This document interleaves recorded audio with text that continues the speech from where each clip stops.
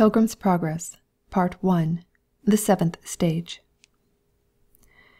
Now I saw in my dream that Christian went not forth alone, for there was one whose name was Hopeful, being so made by the beholding of Christian and Faithful in their words and behaviour, in their sufferings at the fair; who joined himself unto him, and entering into a brotherly covenant, told him that he would be his companion. Thus one died to bear testimony to the truth, and another rises out of his ashes to be a companion with Christian in his pilgrimage. This Hopeful also told Christian that there were many more of the men in the fair that would take their time and follow after. So I saw that quickly after they were got out of the fair they overtook one that was going before them, whose name was By ends. So they said to him, What countryman, sir, and how far go you this way?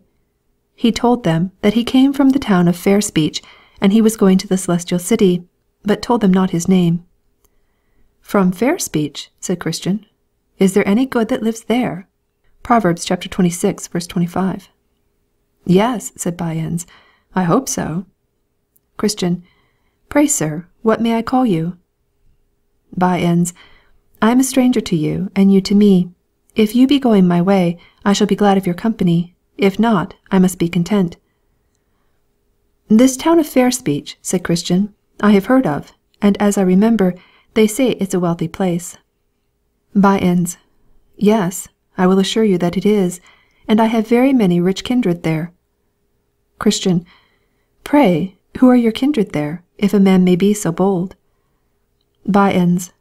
"Almost the whole town, and in particular my Lord Turnabout, my Lord Timeserver my Lord Fair speech, from whose ancestors that town first took its name; also Mr. Smoothman, Mr. Facing both ways, Mr. Anything, and the parson of our parish, Mr. Two tongues, was my mother's own brother by father's side; and to tell you the truth, I am become a gentleman of good quality, yet my great grandfather was but a waterman, looking one way and rowing another, and I got most of my estate by the same occupation."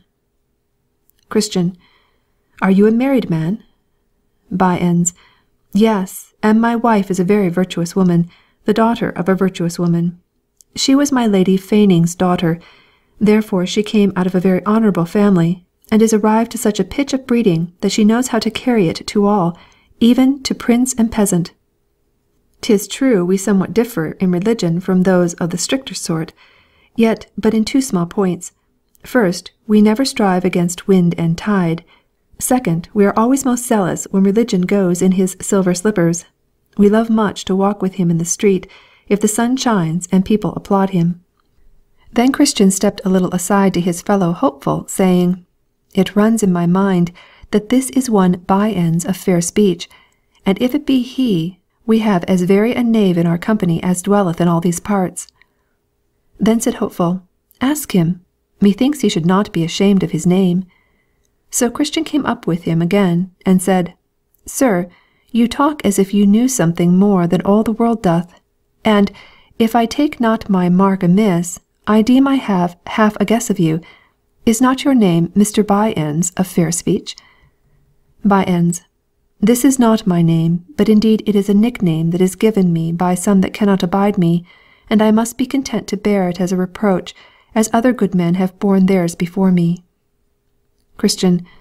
But did you never give occasion to men to call you by this name? By ends. Never, never. The worst that I ever did to give them an occasion to give me this name was, that I had always the luck to jump in my judgment with the present way of the times, whatever it was, and my chance was to get thereby. But if things are thus cast upon me, let me count them a blessing, but let not the malicious load me therefore with reproach. Christian. I thought, indeed, that you were the man I had heard of; and to tell you what I think, I fear this name belongs to you more properly than you are willing we should think it doth. By ends. Well, if you will thus imagine, I cannot help it. You shall find me a fair company keeper if you will still admit me your associate. Christian. If you will go with us you must go against wind and tide, the which, I perceive, is against your opinion. You must also own religion in his rags as well as when in his fine slippers, and stand by him too, when bound in irons, as well as when he walketh the streets with applause." By-ends. You must not impose nor lord it over my faith. Leave me to my liberty, and let me go with you. Christian. Not a step farther, unless you will do, in what I propound, as we. Then said By ends, I shall never desert my old principles, since they are harmless and profitable. If I may not go with you, I must do as I did before you overtook me, even go by myself until some overtake me that will be glad of my company. Now I saw in my dream that Christian and Hopeful forsook him, and kept their distance before him, but one of them, looking back, saw three men following Mr. By ends, and behold, as they came up with him, he made them a very low conge, and they also gave him a compliment. The men's names were Mr. Hold the World, Mr. Money Love, and Mr. Save all, men that Mr. By ends had formerly been acquainted with, for in their minority they were schoolfellows and were taught by one Mr. Gripeman, a schoolmaster in Lovegain, which is a market town in the country of Coveting in the north. This schoolmaster taught them the art of getting, either by violence, cozenage, flattering, lying, or by putting on a guise of religion. And these four gentlemen had attained much in the art of their master, so that they could each of them have kept such a school themselves. When they had, as I said, thus saluted each other, Mr. Moneylove said to Mr. By ends, Who are they upon the road before us? For Christian and Hopeful were yet within view. By ends, they are a couple of far countrymen that, after their mode, are going on pilgrimage. Moneylove. Alas! why did they not stay, that we might have had their good company? For they and we and you, sir, I hope are all going on pilgrimage. By ends. We are so, indeed, but the men before us are so rigid and love so much their own notions, and do also so lightly esteem the opinions of others, that let a man be ever so godly, yet if he jumps not with them in all things, they thrust him quite out of their company. Save all. That is bad, but we read of some that are righteous overmuch, and such men's rigidness prevails with them to judge and condemn all but themselves. But I pray, what and how many were the things wherein you differed? By ends. Why, they after their headstrong manner conclude that it is their duty to rush on their journey all weathers, and I am for waiting for wind and tide. They are for hazarding all for God at a clap, and I am for taking all advantages to secure my life and estate. They are for holding their notions, though all other men be against them. But I am for religion in what, and so far as the times and my safety will bear it. They are for religion when in rags and contempt, but I am for him when he walks in his silver slippers, in the sunshine and with applause. Hold the world. Ay, and hold you there still, good Mr. By ends, for, for my part, I can count him but a fool that, having the liberty to keep which he has, shall be so unwise as to lose it. Let us be wise as serpents. It is best to make hay while the sun shines. You see how the bee lieth still in the winter, and bestirs her only when she can have profit with pleasure. God sends sometimes rain and sometimes sunshine. If they be such fools to go through the first, yet let us be content to take fair weather along with us. For my part, I like that religion best that will stand with the security of God's blessings upon it. For who can imagine, that is ruled by his reason, since God has bestowed upon us all good things of this life, but that he would have us keep them for his sake? Abraham and Solomon grew rich in religion, and Job says that a man shall lay up gold as dust. But he must not be such as the men before us, if they be as you have described them. Save all, I think that we are all agreed in this matter, and therefore there needs no more words about it. Money love. No, there needs no more words about this matter indeed, for he that believes neither Scripture nor reason, and you see that we have both on our side, neither knows his own liberty nor seeks his own safety. By ends. My brethren, we are, as you see, going all on pilgrimage, and for our better diversion from things that are bad, give me leave to propound to you this question. Suppose a man, a minister, or a tradesman, etc., should have an advantage lie before him to get the good blessings of this life, yet so as that he can by no means come by them except, in appearance at least, he becomes extraordinarily zealous in some points of religion that he meddled not with before. may he not use this means to attain his end, and yet be a right honest man? Money love. I see the bottom of your question, and with these gentlemen's good leave, I will endeavour to shape you an answer.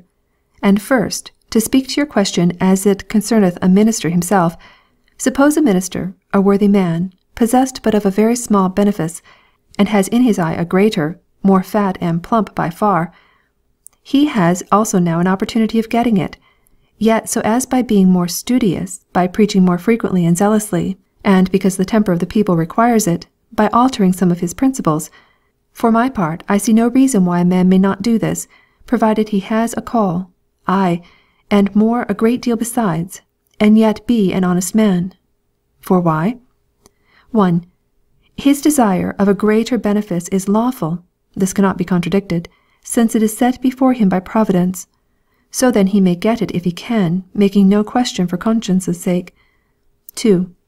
Besides, his desire after that benefice makes him more studious, a more zealous preacher, etc., and so makes him a better man, yea, makes him better improve his parts, which is according to the mind of God.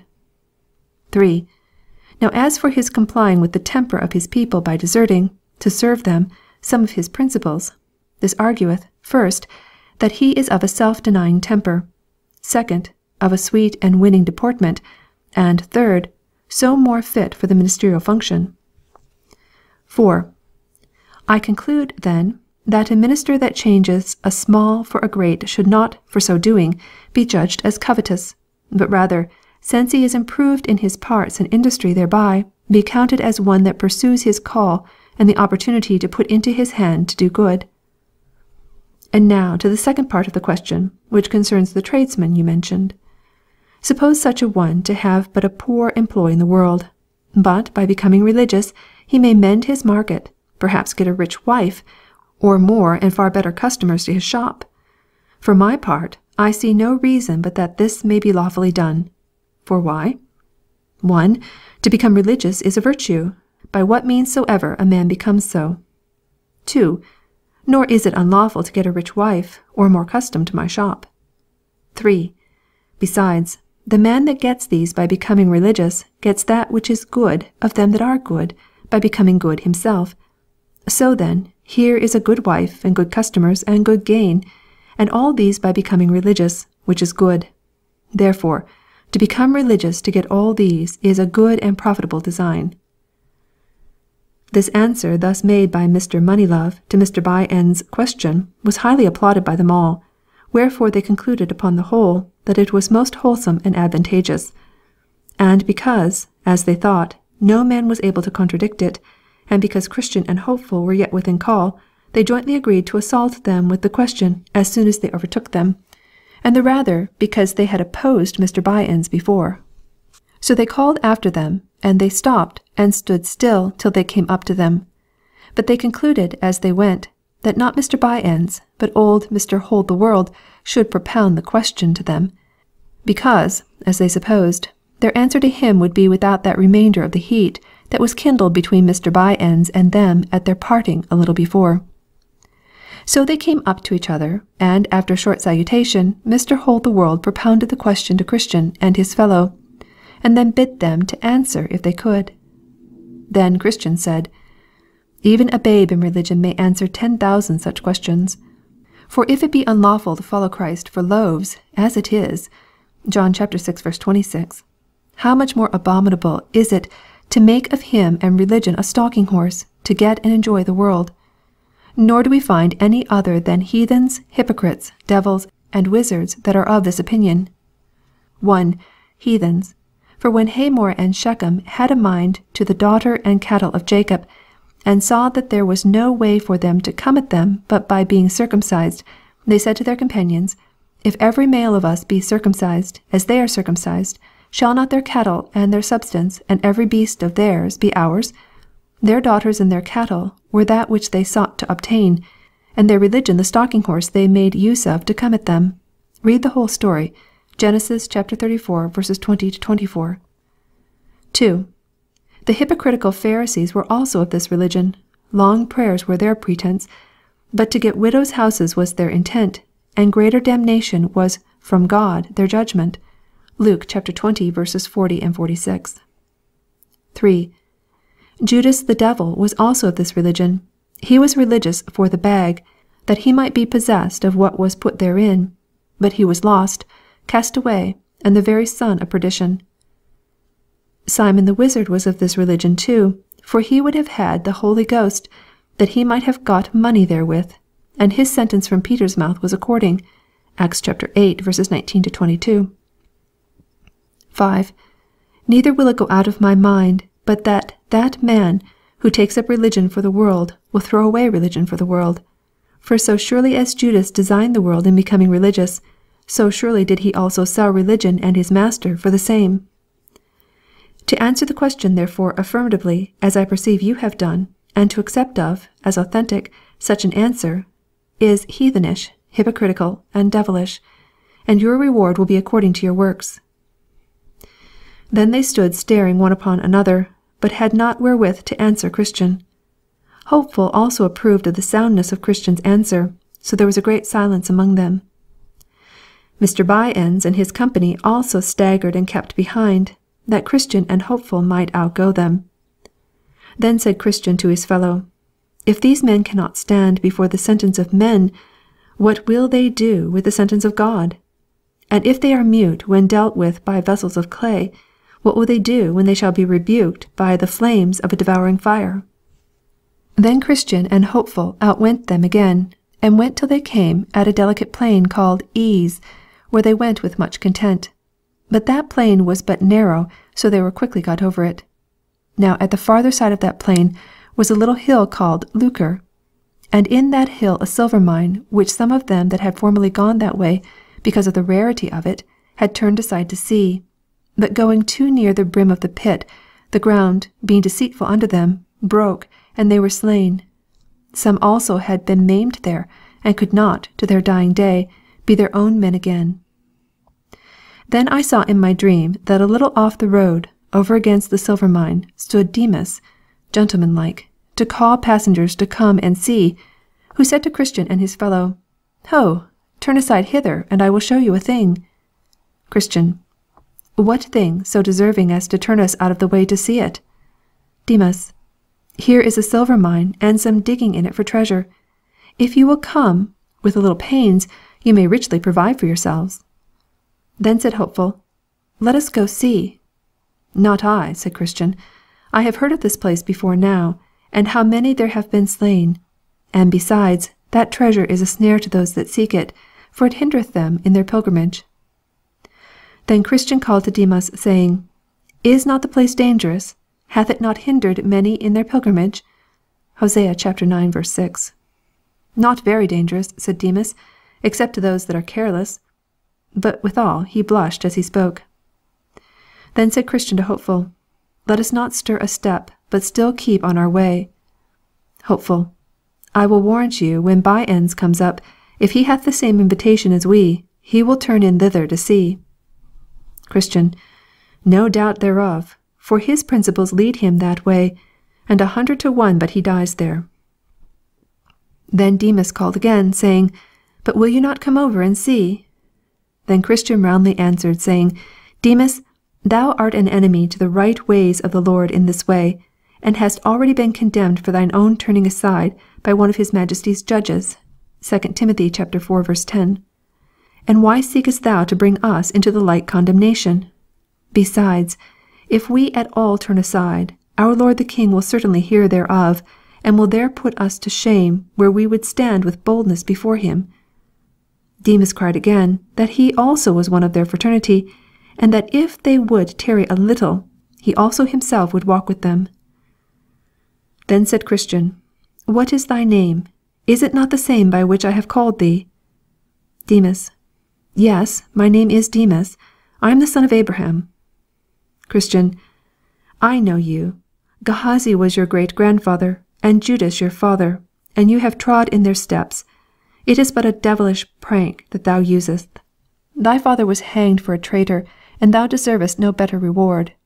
2 Kings chapter 5 verses 20 to 27, Matthew chapter 26 verse 14 and 15, chapter 27 verses 3 and 5. Assure thyself that when we come to the king we will tell him of this thy behaviour. Thus they went on their way.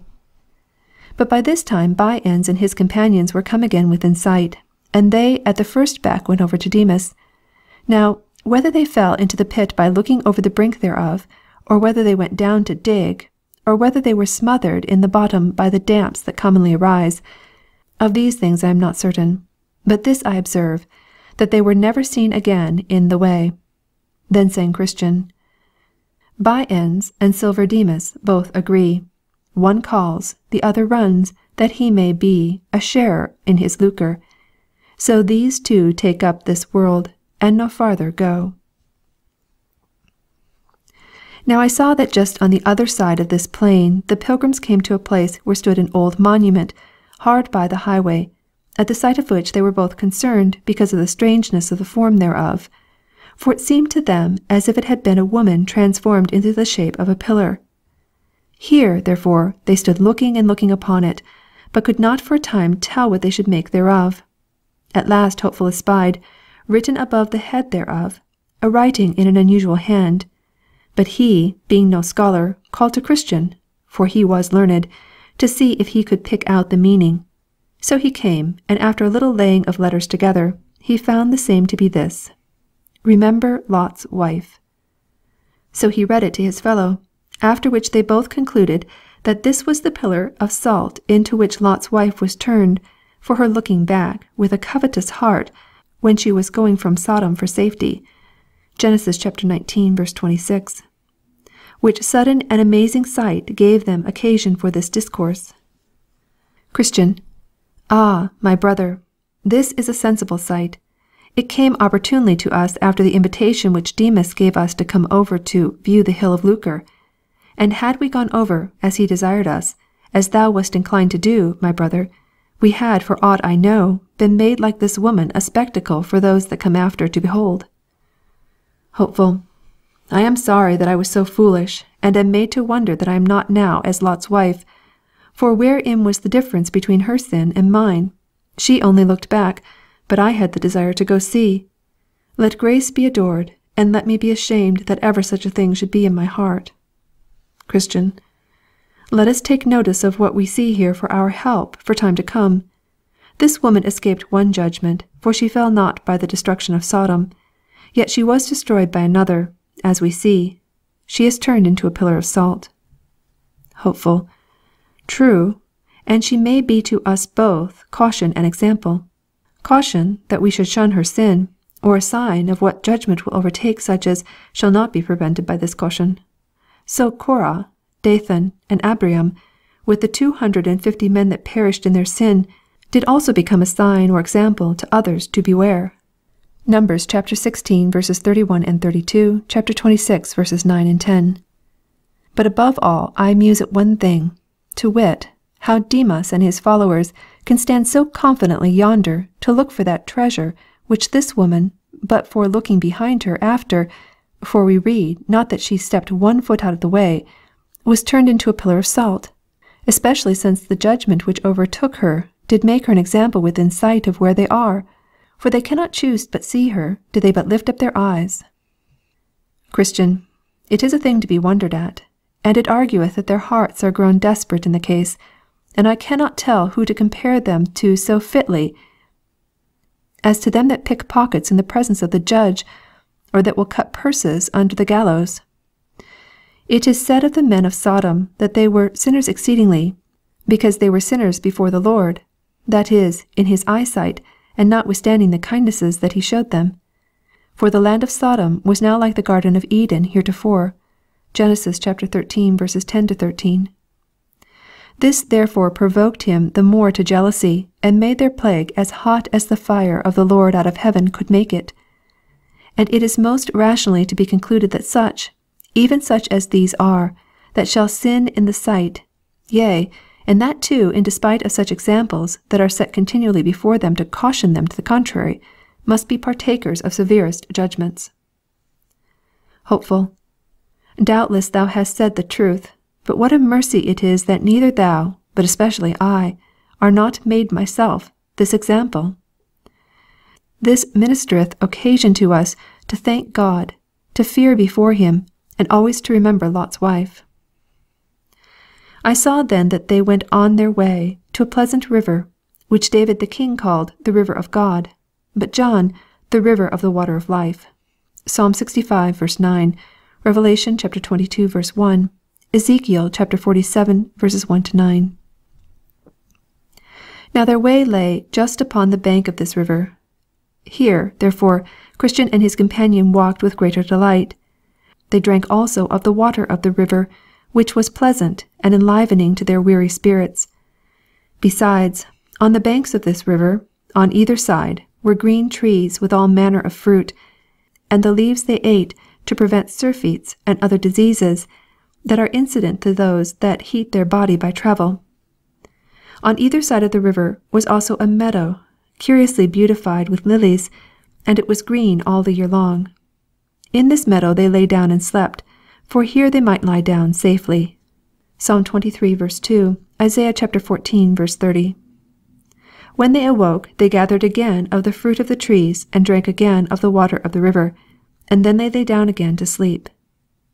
Thus they did several days and nights. Then they sang, Behold ye how these crystal streams do glide, To comfort pilgrims by the highway side.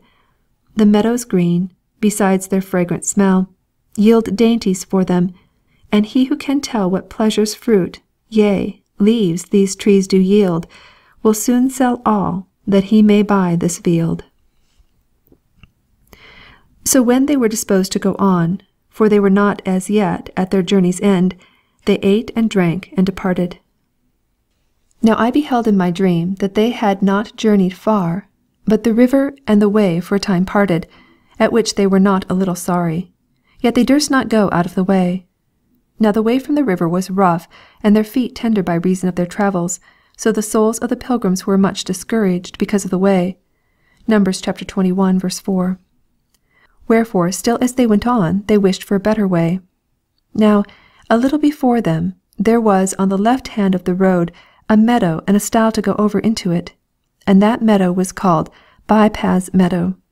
Then Christian said to his fellow, If this meadow lie along our wayside, let's go over into it. Then he went over the stile to see, and behold, a path lay along by the way on the other side of the fence.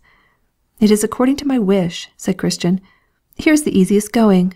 Come, good Hopeful, and let us go over. Hopeful. But how if this path should lead us out of the way? That is not likely, said Christian. Look, doth it not go along by the wayside? So Hopeful, being persuaded by his fellow, went after him over the stile. When they were gone over, and were gone into the path, they found it very easy for their feet, and withal, looking before them, they espied a man walking as they did, and his name was Vain Confidence. So they called after him, and asked him whither that way led. He said, To the Celestial Gate. Look, said Christian. Did I not tell you so? By this you may see we are right. So they followed, and he went before them. But behold, the night came on, and it grew very dark, so that they that went behind lost sight of him that went before. He therefore that went before, vain confidence by name, not seeing the way before him, fell into a deep pit, which was on purpose there made by the prince of those grounds to catch vainglorious fools withal and was dashed in pieces with his fall. Isaiah chapter 9 verse 16. Now Christian and his fellow heard him fall, so they called to know the matter, but there was none to answer, only they heard a groaning. Then said Hopeful, Where are we now? Then was his fellow silent, as mistrusting that he had led him out of the way.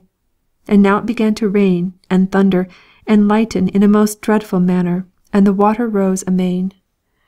Then Hopeful groaned in himself, saying, Oh, that I had kept on my way! Christian. Who could have thought that this path should have led us out of the way? Hopeful. I was afraid on't at the very first, and therefore gave you that gentle caution. I would have spoken plainer, but that you are older than I. Christian. Good brother, be not offended. I am sorry I have brought thee out of the way, and that I have put thee into such imminent danger. Pray, my brother, forgive me. I did not do it out of an evil intent. Hopeful. Be comforted, my brother. for I forgive thee, and believe too that this shall be for our good. Christian. I am glad I have with me a merciful brother, but we must not stand here, let us try to go back again. Hopeful. But, good brother, let me go before. Christian. No, if you please, let me go first, that if there be any danger I may be first therein, because by my means we are both gone out of the way. No, said Hopeful, you shall not go first, for your mind being troubled may lead you out of the way again. Then for their encouragement they heard the voice of one saying, Let thy heart be towards the highway, even the way that thou wentest, turn again. 31, verse 21. But by this time the waters were greatly risen, by reason of which the way of going back was very dangerous. Then I thought that it is easier going out of the way when we are in than going in when we are out. Yet they ventured to go back, but it was so dark and the flood was so high that in their going back they had like to have been drowned nine or ten times. Neither could they, with all the skill they had, get again to the stile that night. Wherefore at last, Lightening under a little shelter, they sat down till the day broke, but being very weary, they fell asleep.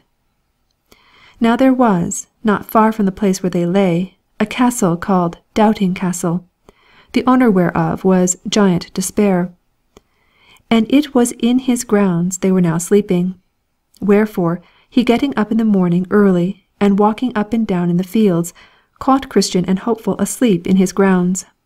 Then with a grim and surly voice, he bid them awake, and asked them whence they were and what they did in his grounds. They told him they were pilgrims, and that they had lost their way. Then said the giant, You have this night trespassed on me by trampling in and lying on my grounds, and therefore you must go along with me. So they were forced to go because he was stronger than they. They also had but little to say, for they knew themselves in a fault. The giant therefore drove them before him, and put them into his castle, into a very dark dungeon, nasty and stinking to the spirits of these two men. Here they lay from Wednesday morning till Saturday night, without one bit of bread or drop of drink or light of any to ask how they did. They were therefore here in evil case, and were far from friends and acquaintance. Psalm 88, chapter 18. Now in this place Christian had double sorrow, because it was through his unadvised counsel that they were brought into this distress. Now Giant Despair had a wife, and her name was Diffidence. So when he was gone to bed he told his wife what he had done, to wit, that he had taken a couple of prisoners and cast them into his dungeon for trespassing on his grounds. Then he asked her also what he had best do further to them. So she asked him what they were, whence they came, and whither they were bound, and he told her. Then she counselled him that when he rose in the morning he should beat them without mercy. So when he arose, he getteth him a grievous crab tree cudgel, and goes down into the dungeon to them, and there first falls to rating of them, as if they were dogs, although they gave him never a word of distaste. Then he falls upon them and beats them fearfully, in such sort that they were not able to help themselves, or to turn them upon the floor. This done, he withdraws and leaves them there to condole their misery and to mourn under their distress. So all that day they spent their time in nothing but sighs and bitter lamentations. The next night, she, talking with her husband further about them, and understanding that they were yet alive, did advise him to counsel them to make away with themselves. So when the morning was come, he goes to them in a surly manner, as before, and perceiving them to be very sore with the stripes that he had given them the day before, he told them that since they were never like to come out of that place, their only way would be forthwith to make an end of themselves, either with knife, halter, or poison. For why, said he, should you choose to live, seeing it is attended with so much bitterness? But they desired him to let them go. With that he looked ugly upon them, and rushing to them had doubtless made an end of them himself, but that he fell into one of his fits, for he sometimes in sunshiny weather fell into fits, and lost for a time the use of his hands, wherefore he withdrew and left them as before to consider what to do. Then did the prisoners consult between themselves whether it was best to take his counsel or no, and thus they began to discourse. Brother, said Christian, what shall we do? The life that we now live is miserable. For my part I know not whether it is best to live thus or to die out of hand. My soul chooseth strangling rather than life, and the grave is more easy for me than this dungeon. Job vii. 15. Shall we be ruled by the giant? Hopeful. Indeed, our present condition is dreadful, and death would be far more welcome to me than this for ever to abide. But yet let us consider, the lord of the country to which we are going has said, Thou shalt do no murder. No, not to another man's person, much more then are we forbidden to take his counsel to kill ourselves. Besides, he that kills another can but commit murder upon his body, but for one to kill himself is to kill body and soul at once. And moreover, my brother, thou talkest of ease in the grave, but hast thou forgotten the hell, whither for certain murderers go? For no murderer hath eternal life, etc. And let us consider again that all the law is not in the hand of Giant Despair.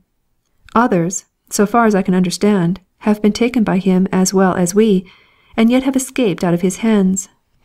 Who knows but that God, who made the world, may cause that Giant Despair may die, or that, at some time or other, he may forget to lock us in, or that he may in a short time have another of his fits before us, and may lose the use of his limbs?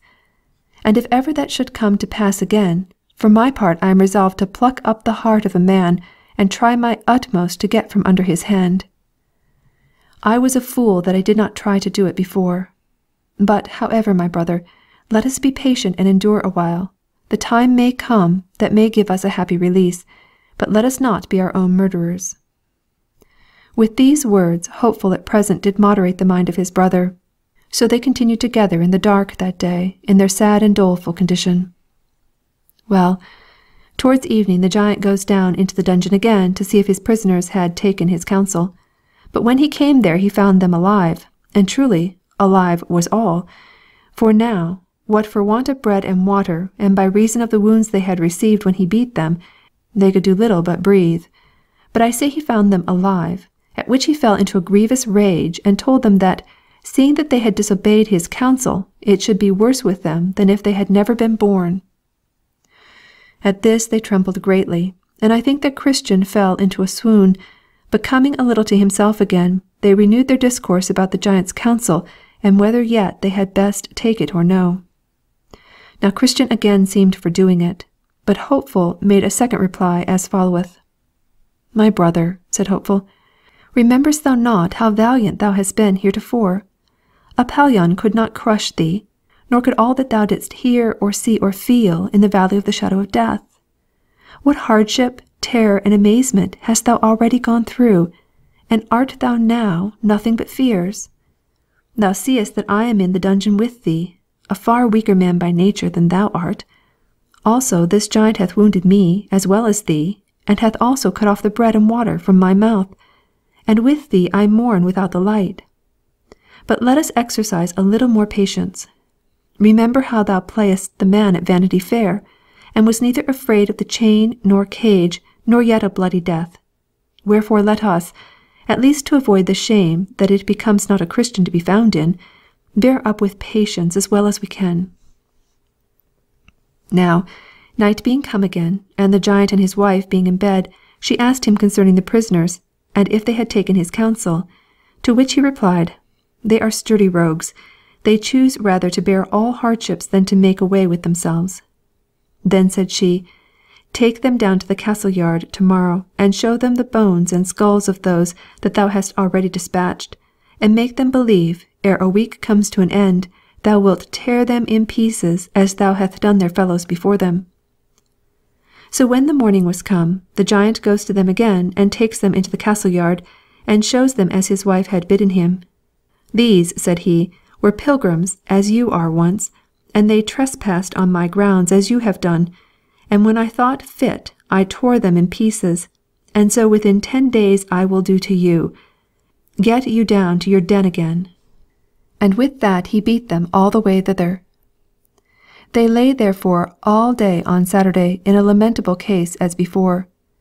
Now when night was come, and when Mrs. Diffidence and her husband were gone to bed, they began to renew their discourse of their prisoners, and withal the old giant wondered that he could neither by his blows nor counsel bring them to an end.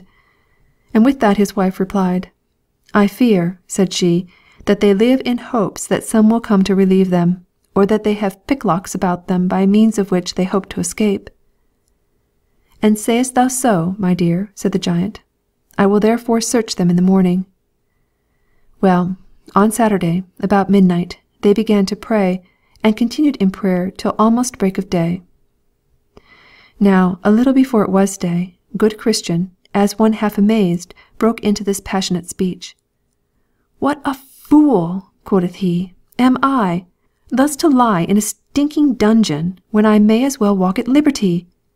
I have a key in my bosom called Promise, that will, I am persuaded, open any lock in Doubting Castle. Then said Hopeful, That is good news. Good brother, pluck it out of thy bosom and try. Then Christian pulled it out of his bosom and began to try at the dungeon door, whose bolt, as he turned the key, gave back, and the door flew open with ease, and Christian and Hopeful both came out. Then he went to the outward door that leads into the castle yard, and with his key opened that door also. After that he went to the iron gate, for that must be opened too. But that lock went desperately hard, yet the key did open it. Then they thrust open the gate to make their escape with speed, but that gate, as it opened, made such a creaking that it waked Giant Despair, who, hastily rising to pursue his prisoners, felt his limbs fail, for his fits took him again so that he could by no means go after them. Then they went on and came to the king's highway, and so were safe because they were out of his jurisdiction. Now, when they were gone over the stile, they began to contrive with themselves what they should do at that stile to prevent those that shall come after from falling into the hands of Giant Despair. So they consented to erect there a pillar, and to engrave upon the side thereof this sentence Over this stile is the way to Doubting Castle, which is kept by Giant Despair, who despiseth the King of the celestial country and seeks to destroy his holy pilgrims. Many therefore that followed after read what was written and escaped the danger. This done, they sang as follows Out of the way we went, and then we found what 'twas to tread upon forbidden ground. And let them that come after have a care, lest heedlessness make them as we to fare, lest they, for trespassing, his prisoners are, whose castle's doubting, and whose name's despair. End of section 13.